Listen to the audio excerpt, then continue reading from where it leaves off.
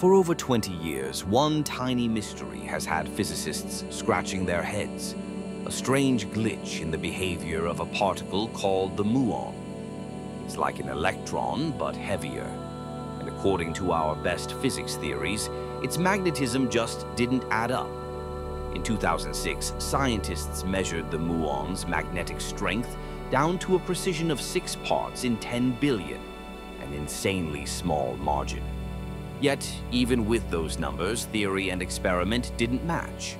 Could this be a sign of new physics?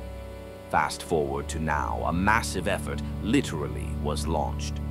A 15-ton superconducting magnet was shipped cross-country to Fermilab in Chicago. There, researchers upgraded the experiment and achieved results 4.4 times more precise. Meanwhile, theorists around the world weren't idle. Over 100 scientists recalculated everything, over 10,000 factors, including the elusive Higgs boson. But there was a catch, the strong nuclear force. To tackle it, some turned to electron-positron collisions, others supercomputer simulations. Our result?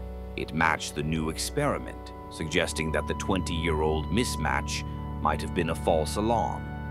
But plot twist, those old electron-positron results still don't agree.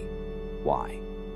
One tantalizing idea, a dark photon, a hypothetical particle that might connect ordinary matter and dark matter.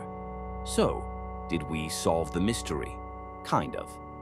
We closed one door and opened another. And in science, that's how discovery begins.